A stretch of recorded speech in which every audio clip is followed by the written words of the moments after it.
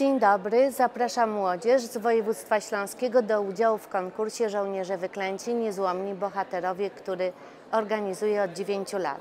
Proszę do 14 lutego przysyłać filmy, piosenki i prezentacje poświęcone wyklętym bohaterom. Na zwycięzców i opiekunów ich prac konkursowych czekają nie tylko zaproszenia do Parlamentu Europejskiego, ale i inne atrakcyjne nagrody. Więcej na mojej stronie internetowej. Serdecznie zapraszam, czekam na Państwa. Jadwiga Wiśniewska, poseł do Parlamentu Europejskiego z województwa śląskiego.